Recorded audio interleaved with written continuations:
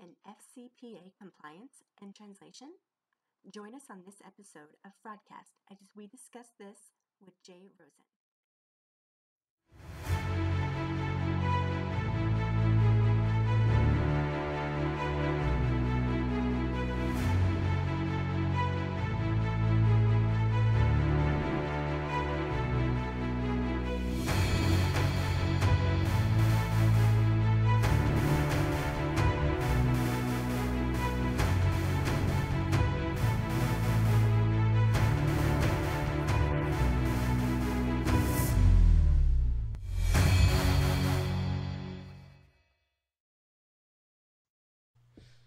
Hello, fellow fraud fighters. I'm your host, Alexis Bell for Fraudcast. Today we're talking with Jay Rosen about FCPA compliance translation considerations. Hi, Jay. Hi, Alexis. Nice to see you again. Yes, you too. Thank you for joining us. So You're you welcome. had you had a very interesting path. Tell me, how did you get to the place of FCPA compliance community? How did you get involved? Um, truly by accident. So I will try to take you back to the uh, beginning of this. This is actually my third career. I came out to California in the late 80s and worked in the motion picture business. Then I was in middle market investment banking. And uh, how I found myself in the world of FCPA as I was working at a translations company. And uh, we were having a dinner between all these partners who were putting together an end to end solution of. Um, you know, basically e-discovery and translations, and they said that we should use this tool for every FCPA matter. Mm-hmm. And I nodded my head like I understood what FCPA was, and I went back home and I typed FCPA into Google, and no lie, the first thing that came out was Fairfax County Parks Administration. and I said to myself, I'm sure this does not have anything to do with my relatives who live outside of DC so I better type it in again.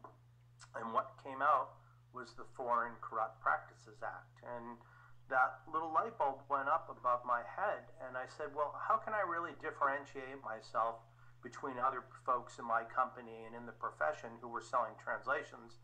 And I really wanted to take it upon myself to learn what FCPA was. So when they say um, a little knowledge can be dangerous, I've been putting together a little knowledge and a little bit more. And now it's uh, been about eight years, and uh, I've learned uh, enough to be dangerous, or at least to hold my own with real fraudcasters like yourself.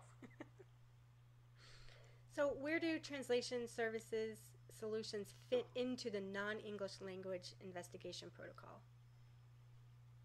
Uh, it's a great question, and that's probably one of the things that I've really learned over the years is that there's a certain um, order in which people or teams get assembled in a large global investigation. Uh, first on is usually outside counsel, and of course, they're going to hire those other participants to maintain privilege. Next step would be somebody from the forensics team that would usually have a, a global reach, be able to um, image those hard drives, acquire information, and then the next thing that they're, they're going to look at is oh my God, we're doing an investigation in China, so we're going to be using Mandarin. So we need somebody who knows how to speak Mandarin. So they're going to go out and they're going to find document reviewers who are native speakers of Mandarin who also can translate it into English. Well, they've thought about all that stuff, but they really haven't thought about well, what happens when we get through this uh, document review, when we've got our core documents that are important, how are we going to translate them? Who's going to do that? And uh, more often than not, people sometimes come up with these solutions that kind of go all the way, but they really don't. So they might think that Becky down the hall speaks Spanish, so we'll let Becky do a translation. And Becky down the hall does speak Spanish, but she's also working with three other partners. And every hour that she spends working on the translation is less time that she can work with her partners. Also, Becky might not be a certified uh, translator, so she can't really certify that output. And if you're doing something that's going to the audit committee, the DOJ, the SEC, she can't. Uh, similar thinking might say let's utilize the document reviewers who are working on the project. Again, every minute that they spend translating is a minute that they're not flipping and coding documents. So there's an opportunity cost, and again, they don't have that requisite expertise to do it. Uh, the third choice might be somebody who's working for the forensics company, and the same pitfalls come up there. So what we've found is that there is a point where we really can help out in the process, but we have to either explain it to whether it's a, a, a chief paralegal, whether it's a third year associate, whether it's a partner. What I like to say is when you need translations on your investigation, you need to be thinking production. Because at that point, when you're producing the documents, you've got relevant documents in non English language, you want to produce that. Now, the thing is, you shouldn't be going to Google and typing in translation companies at that point you should really have a relationship. If you're a global company and you do business all over the world, you should have one, if not a couple backup companies. God forbid you're ever in an investigation or litigation or just simply communicating things like ethics and compliance. You really need to build up a relationship with a language solution provider who can help you uh, deal with these subjects as they come up. So what kind of reach does your reach does your company have? How how how far do you reach as far as geographic location? Oh, great. So the company I work for is called Merrill Brink International. And we have a global reach. We have U.S. locations in New York City and in uh, Minnesota, in, in St. Paul, Minnesota, where we're headquartered. We have EU operations in London and Galway. I was on a call this morning at 5 a.m. West Coast time with Galway. And then we also have operations in Hong Kong. So what has um, really plays itself out nicely is there have been several large above the fold Wall Street Journal type investigations where we've been able to have the teams in the PRC work with our group in Hong Kong and the teams in the EU work with us in London and the US teams work with us in New York. So we find that on these large investigations, it's good to be able to have somebody who can engage with you in your time zone. But at the same time, we also have the ability to chase the sun. So I can have somebody call me at 6 p.m. Uh, in Los Angeles and say, I've got this spreadsheet with 230 Vietnamese terms. Can you turn this around to me by 6 a.m. tomorrow? So I've got a 12 hour window in Hong Kong at that time. It's 4 in the afternoon. So they can start processing that hand it over to London, and then we can deliver it by the time the next morning. So um, not only are we global, but we're also 24 7 because we find mm-hmm. that uh, for some reason associates love to send us projects at 8 p.m. on a Friday night, and they would hate to have an, a voicemail saying, Welcome to XYZ Translation. Sorry, but we're not in right now. We'll get back to you on Monday morning. And that just doesn't cut it in the investigations or the legal world. You know, I really, uh, it reminded me of a case that I had. I wish I would have known you back then. I had a case um, years ago where uh, this was a, a, mountain, an area called Huehuetenango, and um, at the bottom of the mountain, people spoke Spanish, and sort of like at the middle of the mountain, they spoke Spanish and Mayan sort of combined. And at the top of the mountain, they only spoke Mayan, and that was it. And I needed to speak to people across that entire mountain. And we it was a challenge to try to find somebody that spoke Mayan. We eventually had to go to the university to find somebody to do that. But again, to your point from before, they weren't certified translator, um, and this was a really big investigation to be able to do that. So um, I'm glad I know you now. Me too. So um, you know, I, I think um, when I first started along eight years ago, I don't think um, people really thought about this as much, and mm-hmm. part of it was I think uh, the industry is much more mature. Uh, we're seeing specific investigations in specific jurisdictions. So there's been a lot of pharma investigations over the last several years in APAC and specific, specific, specifically in China. Mm-hmm. Uh, we've seen a lot happen in Latin America. There's a lot happening in Brazil.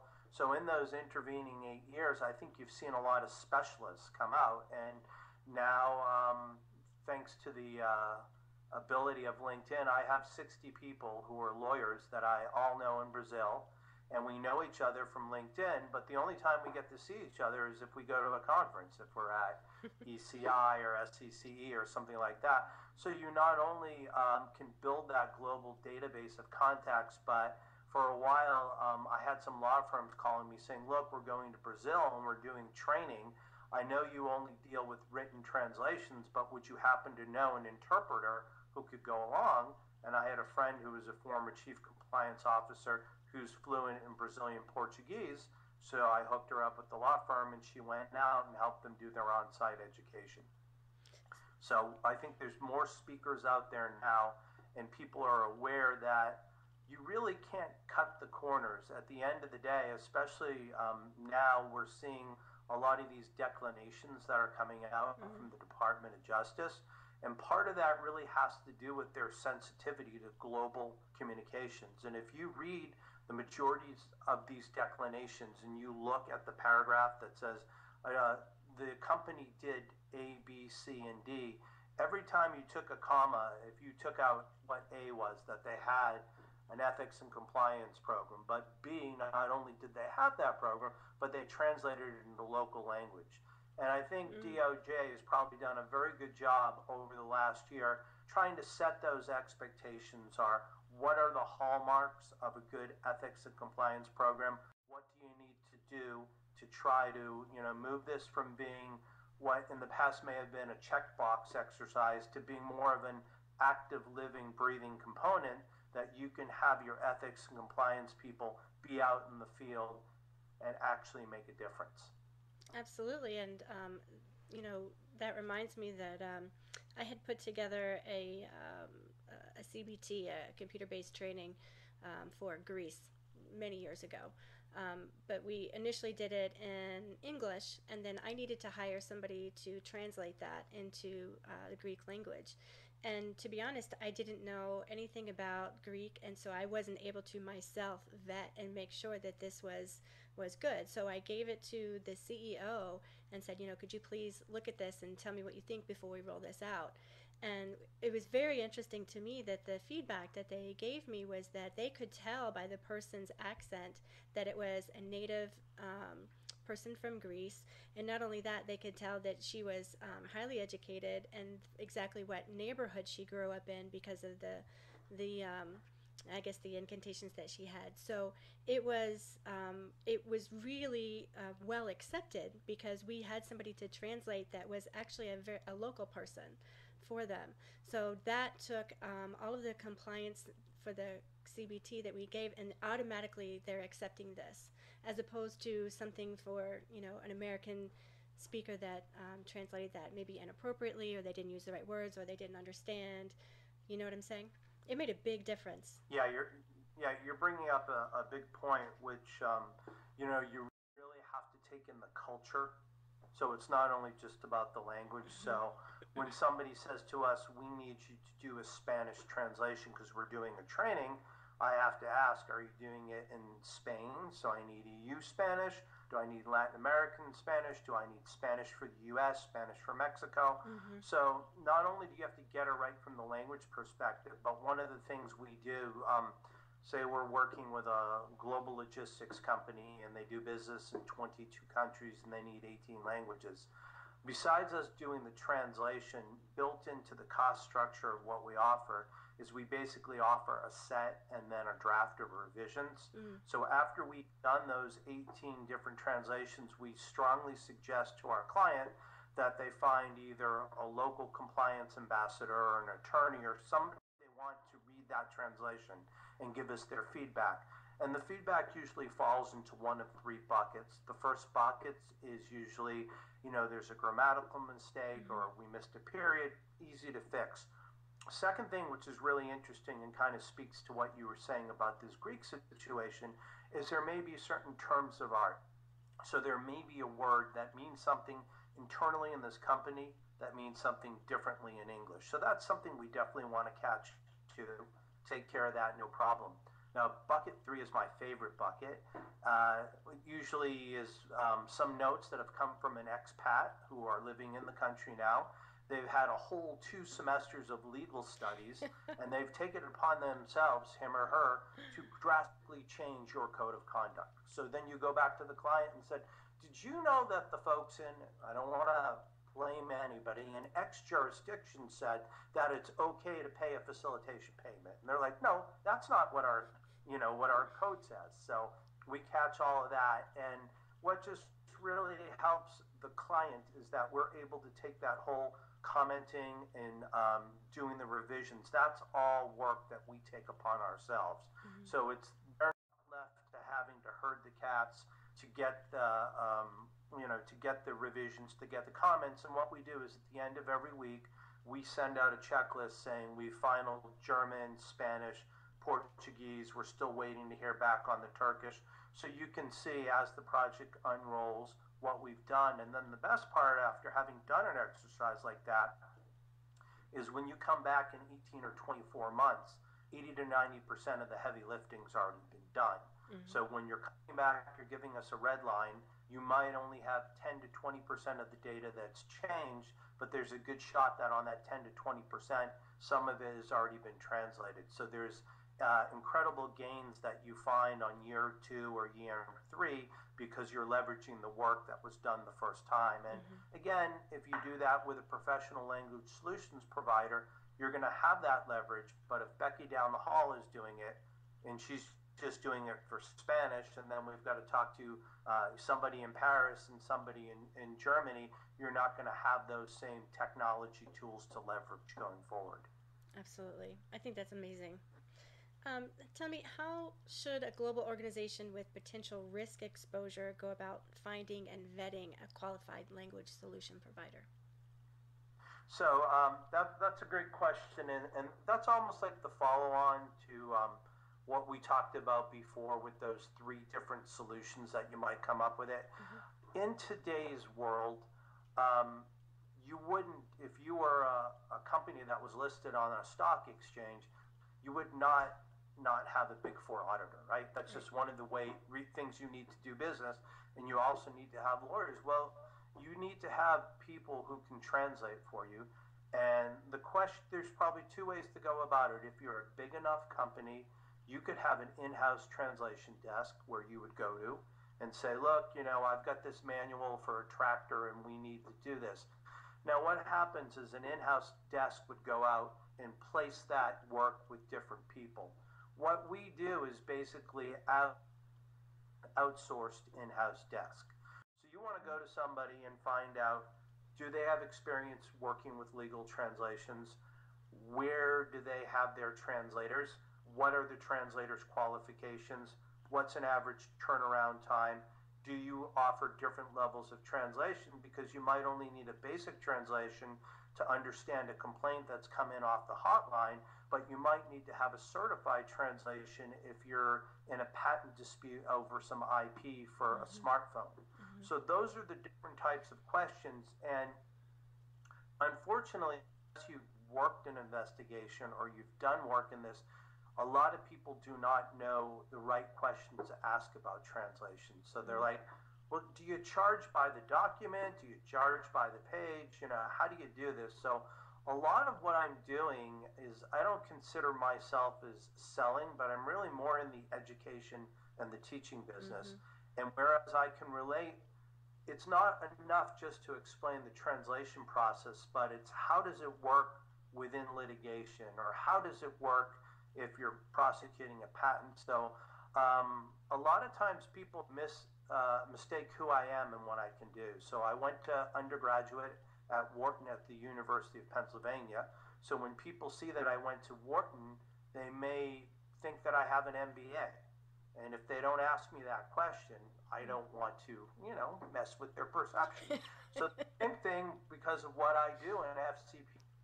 Um, we were just talking about our friend Leona Lewis, and you appeared on her podcast, Masters of Disaster. So the first thing she started off is she said that I, w- I want you to meet Jay Rosen, who's an attorney. And I said, you know, time out. We got we got to stop right there because I'm not an attorney. I just work with them.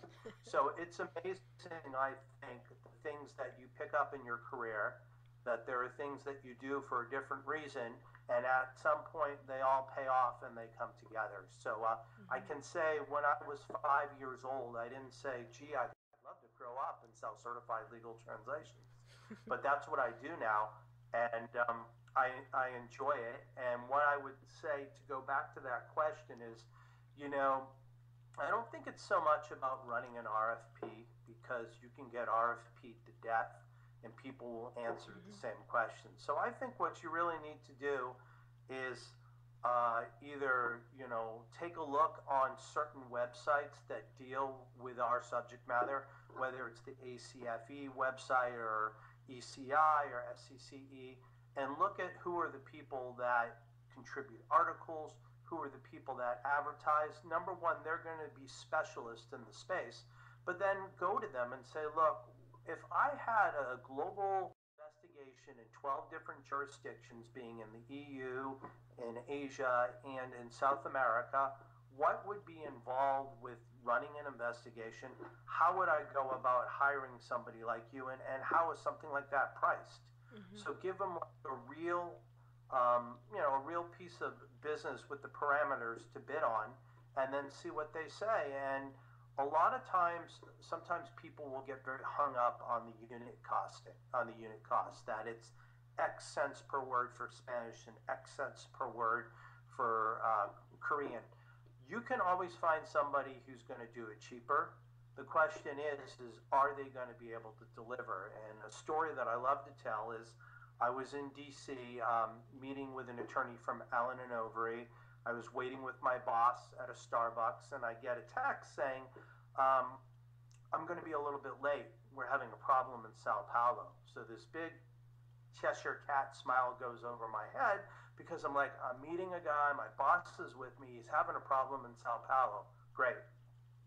Tells me what's happening. I explain how we can help him. He says, I'll definitely put you guys up for the job. So on Monday, we get a call back, and he says, Unfortunately, the client had a relationship with a different vendor, so we went with that. So I said, fair enough, Kurt. You know, hopefully we'll work on something again. So I make a note, check back with Kurt in two weeks. So I said, Kurt, how's it going? He's like, not too good. Why? Well, the company that said they were going to give us human translations, they gave us machine translations. And they didn't deliver what they said they were going to do. And I said, Is there anything I can do to help you out? And since we're probably on a family internet channel, they said, You could simply help me fix this mistake. We've been working with that client now for the last two years. So, you know, that, that's the thing that's instructive. We don't want people to get burned. We want companies to get qualified language solution providers who are going to help them out but, you know, as we've talked about over the last few minutes, if they're not going to pick up the phone over the weekend, or if they're not going to be able to offer you different levels, or if they don't have the, um, you know, experience having worked in a certain kind of matter, you're going to get translations, but you may not get what you need. And the worst part, mm-hmm. I think you could probably attest to on the different investigations and things you've worked on, everybody hates to go back and redo it right a second time. Exactly. You'd really like the option to have those people on call for when you need them and you know who they are. And what I could say the best way to do is try somebody out, get a little piece of business, give them a five page contract, and look at how long does it take the vendor to get back to you? Do they deliver when they say they're going to deliver? If there's a problem, how do they handle it? You know, it's very easy to be somebody's salesperson when everything is going right. Mm-hmm. But when something goes wrong, that's where, you know, a company really shows their mettle because they're going to say, okay, this is how we're going to fix the problem. This is the plan. And, you know, every once in a while, something is going to go wrong. So as long as people don't panic and they can come up with a solution, I would think they're the kind of people that I'd want to work with. Well, you know, something that was very interesting to me when you and I talked before about the quality of your service was um, your vetting process for the people that do the translations. Do you want to speak to that for a second? Sure. Um, at the just to, to figure out where people are in the world, we work with at any given time four to six thousand independent contractors who work all around the globe. So that's the reach of where we can go uh, again, you're talking to us either in the U- US or the EU or the APAC. So you know we can get you people. Everyone has at the bare minimum a four-year college degree. Most people have a postgraduate degree, so sometimes they're attorneys, sometimes they have doctorates, sometimes they have MBAs. Then, after we've established that they're educated, they must have at least three years' experience working as a translator, and then we base group them by subject matter expertise. So, if we were working on, I'll keep going back to my Korean patent for a smartphone, we would get somebody who's a native speaker of English that's bilingual with Korean and that would understand either something about patent prosecution or electronics or the telecom industry. So that would be the bare minimum of somebody that we would look to staff. After we've looked at all that, we have a specific onboarding test that all our potential linguists have to take. One in less than one in 20 pass that test. So when you get to the end of the day, if you're one of these four to 6,000 linguists who we've onboarded, 95% of the people who want to work for our company have failed out. Mm-hmm. So uh, we feel that's a real um, a real specific group of people who have talent and have the ability. And then furthermore, what we try to do is leverage that ability. So if we've had somebody work on uh, an FCPA matter in the PRC, or if we've had something doing something on a uh, somebody doing something on Spanish litigation, we're going to try to use those people again because we've already built up a team. And the nice thing is, is we can flex them up or flex them down so if you get hit with a lot of documents, we add more people, but if we have less documents, we take less. So all those folks are on us. It's not like you're keeping somebody on the bench and you're paying for them all the time. Mm-hmm. The other thing that people uh, don't really think about when they think about the translation business is these people who are linguists, they love to have the ability to go on vacation for a couple months and then they'll come back and work. So sometimes people say, well, can't you just have a translator come to our office? And we're saying that, you know, that defeats any benefit you're going to get by outsourcing that. Mm-hmm. When people do this job, they like the flexibility from working when they're at home or traveling or doing what they do. So that's the difference than having a resource that you've got uh, sitting there 40 hours a week. And, and this um, reminds me of my time in the motion picture business, but there used to be scenes where the producer and the director would stand over the writer pages and they're good. And that's not how translators work. But there are literally certain law firms where we have placed linguists who are on a 40 hour a week retainer and they sit there waiting for somebody to hand them a piece of paper to translate. Mm. And, um, you know, that doesn't really leverage the outsource capabilities of having people who are subject matter experts, people who can certify, and people who understand what they're doing. So those are like, you know, the things that you're going to want anybody to have. But in terms of how we look at, um, you know, looking at our group, our linguists, those are the minimum requirements we have. The other thing just to keep in mind is they're not exclusive to us. So it is possible that somebody who has worked with us, you might be able to get work with them at another uh, translation company. The last thing that I forgot to mention is that this is very important that everybody has signed a, a confidentiality agreement. Mm-hmm. So with the nature of the work that we're doing, whether these are sometimes internal investigations or whether they're publicly known, still confidentiality is of a key concern and that's what most of our clients that's probably one of the first questions that they ask mm-hmm. is who are the linguists you know what kind of confidentiality arrangement do you have with them? Excellent. Um, it makes me wonder so um, i can imagine you know really large cases. I like the ability that you have to be able to flex up as you said. Um, like for example um, let's say parmalat you know just as an example that case had over a million documents um, that were um, submitted. So, um, do you handle that large scale kind of cases if somebody were to have something like that, or do you just take? Do you have like a sweet spot that you have? Uh, no, there, there, there is no sweet spot. But one thing that I would speak to, you know, a case like Parmalat, where they have millions and millions of documents, uh, we would try to come up with a solution together with the discovery provider to say, you know, is there a way that we can attack this document set? And one of the things that we're really well versed in is that um, handoff from e-discovery to human translations.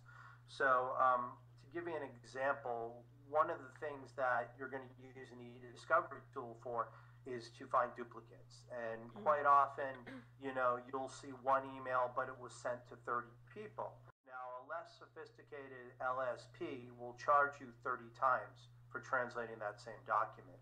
What we will do is to be able to find the fact that if my client asks for 30 documents to be translated and 26 of them are copies, we will do one copy of the, the translation and then we will cut and paste into those other documents. We'll still allow the Bates numbers to be there. We'll allow the chain of custody to be there, but we will have just saved 25, uh, you know, additional charges on that.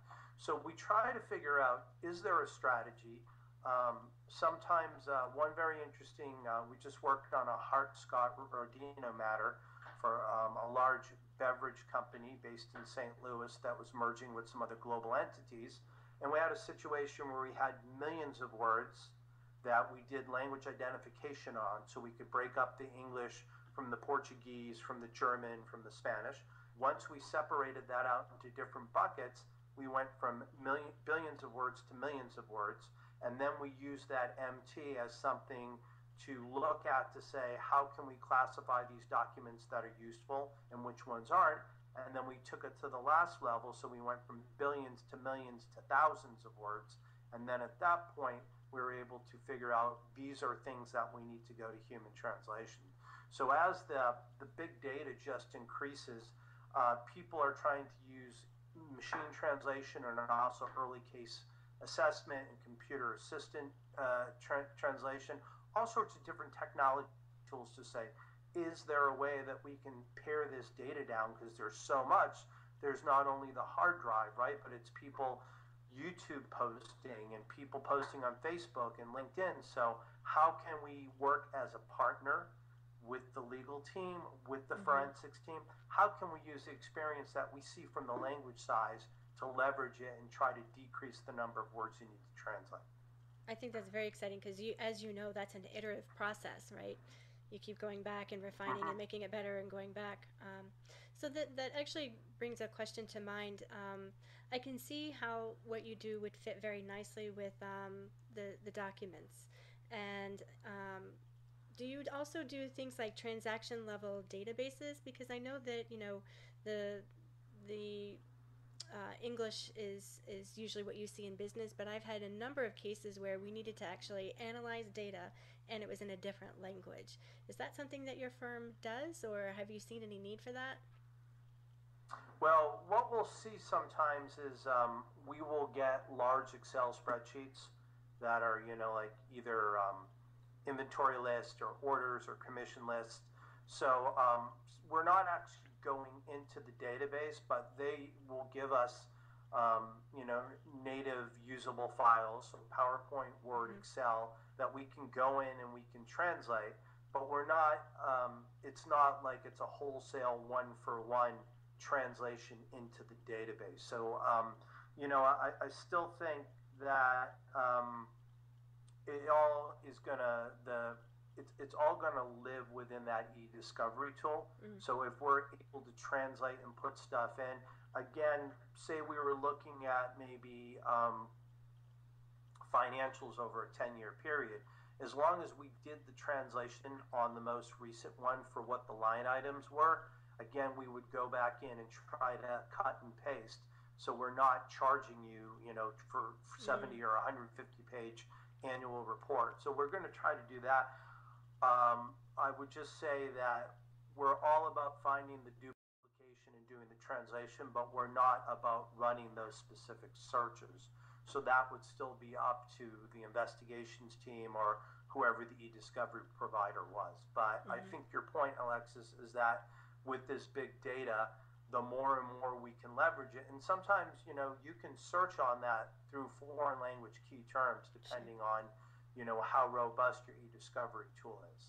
But there are also, you know, organizations out there who will help you with that data and also again help you as you know with you know finding those uh, non-English speaking attorneys who can help you review the data. Mm-hmm. I, am just thinking, like as an example, that um, I know that we did a conflict of interest case once, um, and it was um, in another language, and we were still able to to parse the data out and get to the the ones that we wanted to look at because it didn't really matter who the vendor was. It didn't really matter what the amount was. It was about the the the, the footprint, the fingerprint of, of the behavior of that data. So once we were able to pull that out, then we had a much smaller list um, that we sent out for a translation. So that's the kind of thing that you would be able to do once it's pulled out and now it's in the size of like an Excel spreadsheet. Then you could do that. Yeah, I mean that, that that's easy to handle. Um, you know, uh, so I, again, the, the thing that we're trying to think about is there's a lot of creativity that we need to do and I think on your part, from being an investigator, you want to find creative ways or you want to think about, well, how did the fraud happen here? What are the logical steps? And we want to try to um, add that not from our a fraud perspective, but from a linguistics perspective. Mm. So, you know, again, um, one of the things that we can't stress more, although there's not a large need for having a, an LSP work with you at the beginning of the process. When you're starting to come up with key terms, or if you're working with a data solution that does not do the, the language separation like I described, those are points of inflection that we can help on the front of mm. front end of an investigation. They're really not very costly at all, but to your point, they can really help improve uh, the output of an investigation by taking a way to look at the data. And, you know, more often than not, um, your big four or your forensic provider may have some type of language identification. They may have native speakers who can come up with those, um, you know, key terms to look for. But one of the things that you probably get by leveraging an LSP is that they have probably worked on other matters within those jurisdictions. Mm. So if we're able to le- leverage those same people, they may even know what the term is for payment or bribe. So I think if we all work together and share best practices, there's a lot we can learn from an investigative team. There's a lot we can learn from learn from a law firm. And I think, um, you know, in, in some circles, we're considered just a, a fungible vendor who sells, you know, widgets that they think translations are equal. And um, just like my friend in Allen and Overy, we were able to demonstrate quite effectively that not all translations are equal. So uh, back to that, you know, due diligence and, and being aware of who you partner with, it's never too soon to find out who those folks are. God forbid you don't need them for an investigation, but there also are positive things that you might need foreign language due diligence for if you're doing an acquisition, if you want to check on if the company that you're going to do business with has a good ethics and compliance program, that's probably a good use of a language solutions provider.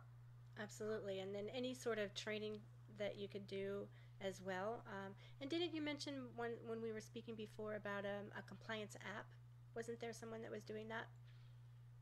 Yeah, this was really exciting. That um, this is a project we worked on for the Ford Motor Company, and about two years ago, they came out with an app called The Right Way, which is available both on uh, the iTunes Store and the Google Play.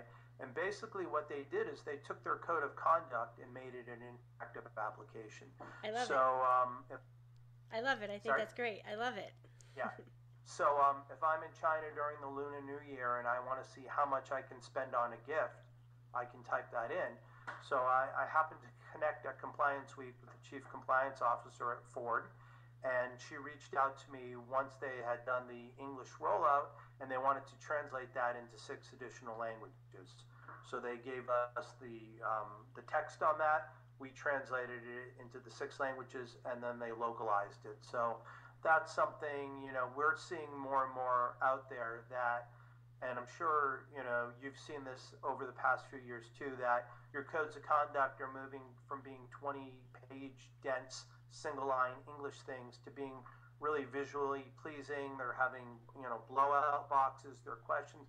So they're trying to meet uh, employees at a different level by saying, look, this isn't a legal responsibility, but this is something we want to give you to help you in your day-to-day interaction on how you do your job. And if you ever come up with anything that might be a red flag, this is the way to escalate it, and this is how we can help you. So, you know, that's something that Ford's doing. And, and I think when we were at the ECI, they actually spoke, said that if anybody wanted to reach out to them, they would, you know, help share uh, the app and see if there's a way that, you know, you could use that for your own company or your own industry. So I think those kind of tools out there from an ethics and compliance standpoint are really exciting to see. It's very exciting because you know it's absolutely critical that employees get that information and making it interactive like that and, and to your point visually pleasing um, and then they can they can carry it with them. I, I think it's a fabulous idea. Well jay is there any last thing that you want to share with us before you go uh, yeah, I would just like to say that if anything that you and I spoke about uh, spurs anybody's imagination or they would like to get uh, further info, best ways to reach me via email. It's uh, my first name, last name, so J A Y dot Rosen, R O S E N, and it's at Merrill Brink, M E R R I L L B R I N K dot com. And then uh, you also can reach me via my uh, mobile, which is 310 729 6746. So, um, as you see, uh, I'm at no loss for words, so I'm happy to talk about anything. And it doesn't even have to be translation uh, based, but anything to do with FCPA, ethics, or compliance. I think we all know it's good to talk with colleagues out there and to learn about best practices. Mm-hmm. So if there's anything here we discussed today, uh, I'd be happy to talk about it in greater detail. Great. Well, thank you so much for being a fraud fighter and making a difference. Thank you for having me, Alexis, and hope to see you soon. Great. Okay. Bye bye.